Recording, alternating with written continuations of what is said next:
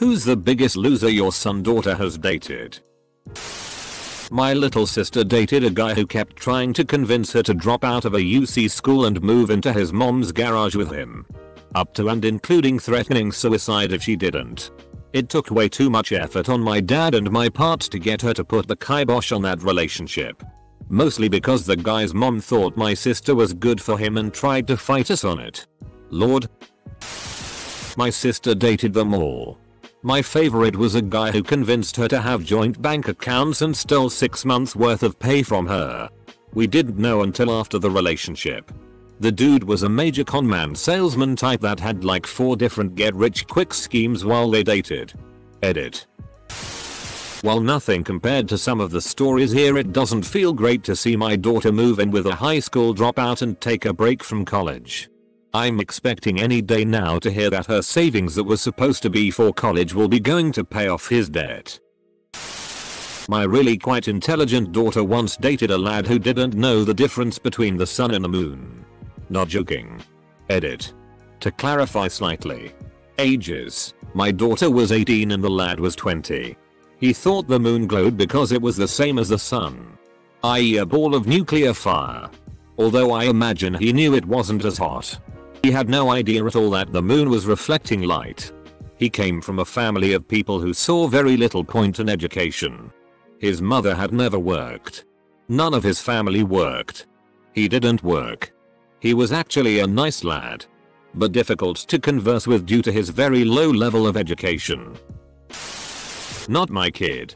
But my brother. He dated this crazy possessive chick who once buried one of his shirts because another girl complimented him on it in front of her. She also totaled his car after lying and saying she had gotten her license back. She gave $400 to a fake iPhone scammer website Western Union because they are a legit company. I saw pictures of their warehouse and everything. I googled warehouse. The picture on their site was the first one that came up. She even paid $100 more to expedite through customs when the delivery didn't arrive when expected. And the yeah registered sign insistence she killed his dog. She left at 7pm on the coffee table and he chewed up the bottle. By some miracle no pills got out and crisis averted. It was explained to her that the pills would be fatal to the dog. She bought another bottle and left it on the coffee table again this time dog ate half the bottle and his kidneys failed. Sucks because he was the sweetest smartest dog I've ever known. TLDR. Obligatory not a son or daughter scenario. But my older brother dated a girl who pretended that she broke all of her bones in a car wreck. She put both of her arms in slings. Put braces on her legs. And a travel pillow around her neck. I remember her asking her about her back, if all of her bones were broken anyway, and she started to cry. Lol they didn't last long. Brother's girlfriend hit my English bulldog with a shovel because he was barking and it scared her as she showed up unexpectedly at my parents' house around 1am. He is still with her because she's lonely and has no friends or family. Maybe because she's a psychotic bitch. My sister dated a guy who lied about being a Navy SEAL. Apparently there is like a whole community of people who do that. Just go around unemployed living on? Telling their souls when they disappear for weeks at a time that they were deployed. It never made any sense to us. And she broke up with him for other reasons and gets really pissed off if anyone mentions the relationship happened. He was a creepy dude who took advantage of her trusting nature and that she was at a low point in her life. And I regret not doing more to call him out on his obvious bullshit. He's still in the area doing god knows what probably trotting out the same crap to new women. I hope one day he gets his ass beat by a real Navy SEAL. My sister is dating a guy who is an asshole to everyone he meets. But cries when you give it right back to him. He is also an enabler to her depression and anxiety. Instead of trying to encourage her to fix herself. He tells her that she doesn't need to and he will do it for her. Instead of trying to fix herself he'll do it is really dangerous and feels manipulative. Having her rely on him ends up going bad. My husband's cousin was married to a man who cheated on her for months. And then moved his mistress into their home and tried to convince his wife that they could all be lovers together. He also got into the illegal pot dealing game after Colorado legalized weed. My sister is married to a guy who has two swastikas tattooed on his back. Nuff said. Edit. He got them while in prison when he joined the Aryan Brotherhood. He definitely isn't Buddhist. My brother is currently dating and engaged to one of the worst people I've ever met. She is manipulative and controlling. He likes to dish TTY. Mean things. And when confronted will act completely innocent and play the victim and she has on several occasions made up stories and lied for the sole purpose of causing chaos. She almost destroyed my other brother's marriage, his wife is her best friend, and has all but ruined my brother's relationship with our mom and other sister. I really think she is entertained by the misery she causes. The best part of all of it? They are getting married in 11 days. She says it was the guy that was a drug runner, I obviously didn't know about this and am only being told because he's long gone from her life. I'll be back to find my judgmental ex's parents. My sister dated this douchebag. He lived in a house his dad owned and she moved in with him. He stayed at home slinging cocaine. She held respectable jobs. He was a general shfed. Stole drugs from his mom and such. They bought a TTY Firebird together with her money. But he titled it in his name. When she finally left him, my father and I drove the Firebird and parked it in our garage. Covered all the windows looking in. He would call us every day and rant to us how he was going to call the cops and or kick our ass. After telling a sob story to the DMV, we ended up getting this saint of a supervisor who transferred the title to my sister's name so she could sell the heap of junk and recoup some of her money. An ex stabbed me in the thigh with an X-Acto blade once. Full blade in the thigh. I could see my muscles working. And had to pick out the pant fibers. Wanna know why he stabbed me in the thigh? Well I have two toes on each foot that are webbed. He wanted me to let him cut those instead. That is psycho behavior. Glad he is an ex. Funny enough every father of any girl I have ever dated thinks I am a loser. It usually starts with something along the lines of I don't like your name. And usually goes downhill from there. I'm not sure I'd want my daughter dating someone named the window licker either. How many other guys came here to see if any of the descriptions sound like them? Not me. That's for sure. My best friend dated the worst man on earth. Classic mental gaslighting abuser type. Never made her feel pretty or good. Always compared her to other girls. Told her she wasn't beautiful. SY. Feminine. Or attractive to him. Keep in mind she is an attractive. Perfect bodied type. Who is also kind. Funny. Hardworking. Etc. Most would consider a catch. He cut her family out tried to convince her her friends were trash to cut us out. If we went out to a bar, he'd be dancing with chatting up other women all night while she sat alone. The kicker though.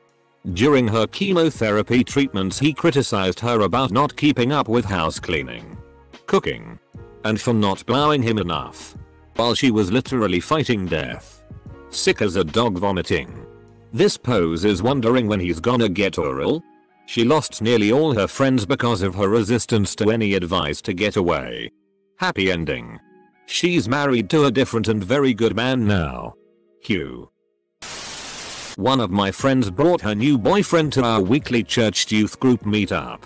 He openly bragged about how he could manipulate anyone into doing whatever he wanted and tried to dominate all of the other guys in the room by proving how much smarter, stronger, more athletic he was. She pulled the plug pretty quickly. I dated a lot of stupid, just plain dumb guys in high school. One of the worst mistakes was my boyfriend sophomore year told me he had lung cancer because he's been smoking cigarettes since he was 8. He wrote me like this weird journal letter about it. I didn't believe him for a second. But continued dating him for another month or so. Blake we took him into our home for a few months so he could save up some money. Our internet bill went through the roof. I think he played video games. Then one day, Independence Day, he dumped her. All while his clan from Texas was camping in our yard on the way to a music festival. I guess I should have keyed in when he mentioned he had moved multiple times. I hate when people use up all the internet. My daughter is 12. You have all given me a really shitty outlook on the next several years. Damn it. Edit. Thanks everyone for the advice. My dad doesn't read it but my parents hated my ex. We met when we were 16 and were on and off for 4 years. He constantly cheated on me and was just a shitty person. I ended up pregnant at 18 and I worked through most of pregnancy. While he didn't do shitty. I got him a job but he didn't keep it. I broke up with him when my daughter was 8 months old. About 5 months after my mom passed away. He hasn't been in mine or my daughter's life for about 4 years. His loss. She's amazing. Girlfriend's daughter hooks up with this dude who claimed he was a seal and talked all kinds of shitty. I let this guy go off for hours about how bad he was and all the black ops he was part of. He was laying it on thick and I let him keep talking. About two John Wayne hero stories later I said show me your trident tattoo. He looked at me and said it was concealed. I asked him what ordnance did he pack when on a mission? No answer. Then asked where did he take his bud class in Florida or Oregon? He says Florida. I tell him he is full of shitty. 10 minutes later he's gone and I catch hell and grief from daughter and girlfriend for chasing the dude away. But he was a seal. He was going to show her all his medals and awards. I still chuckle about this. I don't know if I'm allowed to say names but my sister is married to Google this guy who kidnapped and arped two girls at Utah. They got together when she was 13 and he was 27ish. Mom tried to get him arrested but cops wouldn't do shit even though they admitted to having sex and mom wanted to press charges. Not my daughter's son. But my mom. After my dad's death she has been alone for almost 15 years. With my brother we encouraged her to go back to dating. But she would never stay long with anyone. At some point she's met a new guy. That was actually serious about her and everyone was happy for a while. After some time Guy showed how manipulative of a douche he can be. He hated that she was surrounded by family and had people supporting her. He would spread lies and rumors about the rest of my family just to have her for himself. Interventions had no effect. Now thanks to him she's no longer talking to her twin sister. Mother and the rest of the family simply avoids her just not to have contact with him. He made her choose multiple times between her children and him and actually broke their engagement three times. They would have a break for a while but she's always coming back to him. I honestly never hated anyone so much in my life as this guy and it breaks my heart how blindly she follows him. I like threads like these for giving me perspective. Not that they are an excuse to be a lazy slob but to prevent myself from doing irrational things like internally calling myself a lazy slob because I don't have the discipline to do a PhD. My wife's brother married this terribly manipulative woman who regularly reported him for DV and assault. Though this never happened. Had him discharged from the military for these wrongful accusations. And the worst imo was that she murdered his dog. Luckily he got out of there and is happily married with three dogs now. Sadly my son is the loser that other people's daughters date. Mum get off Reddit WTF. Newsflash. Your child might be the loser. My cousin's ex-husband lost a security job for being racist. Was kicked out of the army, not clear why but he was going on about not making weight. Got a DUI. Then got arrested for having sex with a 17 year old at a school he worked at as an orderly. A school for special needs kids. Thank god she finally divorced him. Our daughter dated the same guy all through high school. Nice guy but unmotivated. Ate most dinners with us. Bummed off her all the time. She broke up with him when she went away to college. I was kind of relieved. He did nothing the year after high school and then finally got a flunky delivery job at a dental lab. After a year or so he started helping make dentures. Seems as though he had a natural talent. By the time our daughter graduated he had purchased the lab from the owner who retired. By the second year as owner he had made his first million. Our daughter sells t-shirts. Guess he wasn't the loser. More like the one that got away. Sadly it's always been me who is the loser. Dating girls so I wasn't alone and manipulating them to keep them from figuring out I was a piece of shit and they could easily do better. It took getting diagnosed with depression and getting on meds and therapy to see how f***ed up I was. When I started dating the current girl I'm with I told her, her best friend and her mom how I used to be and asked them to call me out if they see me doing it again. So much it is habit that I don't even know what's unhealthy until I'm told. Also my parents never gave me a good example or a healthy relationship so I'm figuring it out as I go how. Daughter dated a guy who worked for the Hillary campaign. Had one of those spoiler. Hillary wins shirts and 35 campaign buttons and constantly talked tea to everyone. He was super confident they would win. Being up polls and stuff. Long story short. They broke up shortly after he joined the resistance post-elections. He tried to make her join and she got sick of his delusional loser lifestyle. He basically had a nervous breakdown after the elections. Spoiler alert. She voted for Trump but lied to him that she was voting for Hillary lol. Papa couldn't be prouder. I once dated a girl who ate her peas with a fork. One at a time. I still shudder when I think about her. I mean, what would the kids have been like? We'll call him John. He currently lives with his brother and best friend. Three guys. One house. And she somehow convinced him to let her move in too. Ah but not just her. She also brought along her zoo. I don't mean a few cats and dogs. I mean two adult cats. A kitten. Multiple tarantulas. One or two rabbits and I think a few birds too. There's too many to remember tbh. She was having him drive her to and from work every day. Surprise. She works at a pet store. Comma he got tired of it so what does he do? Buys her a car with his own money. I think this is his first relationship in a while and I can't help but think. Damn she's good. She knows exactly what she is doing. Has him wrapped around her finger. His relationship with his brother is strained because her and him do not get along. And he hates living in a house with her and all her animals without having any say in it. She's just... My oldest brother used to be married to a horrible person. She was fine when they were dating. Fine for the first two years. Then she gave birth to my nephew and all good things about her disappeared. She cheated on my brother. She ignored her son. She stole money from my brother so he couldn't go to trade school. She threw their Shiba Inu off her 11 story balcony because the apartment was too small for both a baby and energetic dog. She told everyone he jumped. The ignoring her son turned into a way to hurt my brother. She left an X-Acto knife out and my nephew stepped on it and she ignored him while he bled and cried. She gave him food poisoning and made sure they were always broke.